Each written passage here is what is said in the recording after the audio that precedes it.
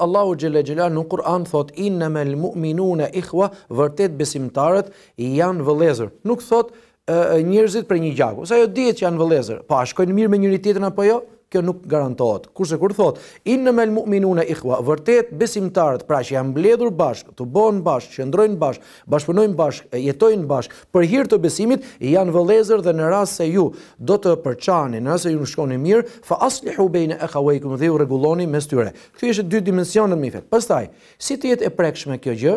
Ne e dimë fare mirë që në shumicën e rasteve sot ka mbetur thjesht një parim në teori dhe jo parim në praktikë. Që do të thotë, ne besojmë, apo pohojmë, apo gjoja, mendojmë, apo bind, jemi të bindur se jemi vëllezër, por në praktikë nuk jemi vëllezër. Pse? Sepse çështja e vëllazërimit nuk është thjesht një nocion, nuk është thjesht një term, nuk është thjesht një ide, nuk është thjesht një, një, një parim domethënë që do të mbetet në letër, do të mbetet në fjalë, apo do të mbetet në terma, por duhet të, të, të vihet në praktikë. Për shembull, Allahu i madhërishëm thotë, Wakhfid janahaka lil mu'minin, Shtrije dorën tënde, tregohu i butë, tregohu i mëshirshëm për vëllezërit besimtarë. Që do të thotë, ti thua sa duash, domethënë unë jam besimtar dhe besimtari tjetër është vëllau im, por nuk bashkëpunojmë me njëri tjetrin.